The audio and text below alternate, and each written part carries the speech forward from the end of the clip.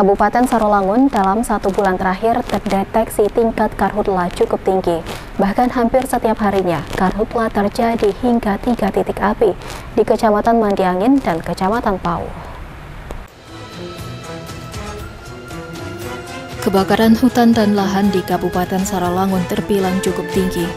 Hal tersebut diakibatkan dengan human error atau oknum warga yang terbilang lalai dalam melakukan perluasan lahan sehingga hampir setiap harinya terdeteksi ada titik api yang membakar lahan warga di Kecamatan Mandiangin dan Kecamatan Pau.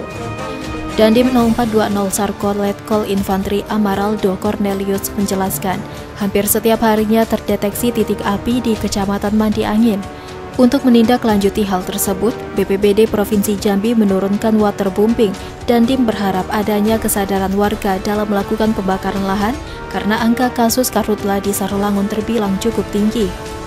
Dalam satu bulan terakhir ini hampir setiap hari selalu saja ada di mandi angin, gurun baru, mandi angin dan lain sebagainya. Namun karena sudah menjadi spot yang hampir setiap hari ataupun sudah dinyatakan yang kurang lebih siaganya, nah, akhirnya dari BPBD dalam hal ini Provinsi Jambi sudah langsung turun tangan untuk waterbombing. Hmm. Ini kemampuan kami adalah untuk mitigasi, mitigasi maupun sosialisasi ke masyarakat yang mengenai pembukaan lahan. Nah ini kita mohon kepada rekan-rekan semua bantu untuk memitigasi nih.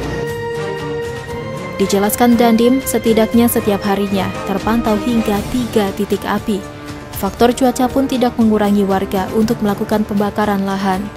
Dan tim juga menduga faktor utama terjadinya karhutla yakni karena human error yang terjadi pada warga yang kurang menyadari dampak dan akibat pembakaran lahan.